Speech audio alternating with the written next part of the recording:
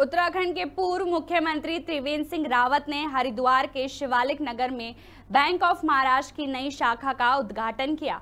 हरिद्वार में bank of Maharashtra की ये पहली शाखा है। उन्होंने बैंक प्रबंधन को शुभकामनाएँ दी और कहा कि नई शाखा खुलने से हरिद्वार के किसान, उद्योगपति और व्यापारियों के साथ साथ स्थानीय लोगों को भी बैंकिंग सुविधा बड़ा लाभ मिलेगा। वहीं बैंक प्रबंधन ने बताया कि उनकी नई शाखा में केंद्र सरकार की सभी योजनाओं के तहत ऋण देने की सुविधा दी जाएगी। हरिद्वार से नरेश तोमर की रिपोर्ट।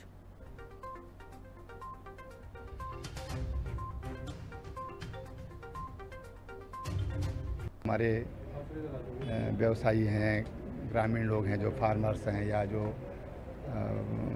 परिवहन का काम कर रहे हैं तमाम जो व्यवसाय कर रहे हैं तो उनके लिए एक नया एक और बैंक यहाँ पर शुरू हुआ है।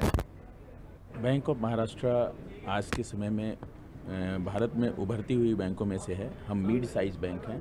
हमारी पूरी भारत में लगभग 2300 ब्रांचेज हैं। उत्तराखंड की ये सोलहवीं ब्रांच की आज हमने उद्घाटन की है।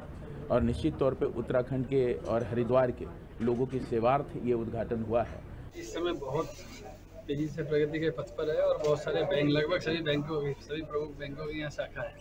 आज उसमें एक नई शाखा का उद्घाटन हमारे पूर्व मुख्यमंत्री जी ने किया है और शिवालिक नगर इस समय बहुत सारे आसपास के क्षेत्रों का व्यावसायिक गतिविधियों का केंद्र भी है। जिससे लोगों को बहुत फ़ायदा मिलेगा और प्रधानमंत्री मोदी जी की जो योजना रही, जो जन जन खातों से शुरू हुई थी और आज देश के अंदर हर व्यक्ति का बैंक में अकाउंट है, जो पहले एक गरीब व्यक्ति का सपना हुआ करता था। और सिर्फ़ अकाउंट ही नहीं है बैंक उन लोगों को हर कदम पर मदद देता है सुविधा देता है लोन देता है बहुत सारे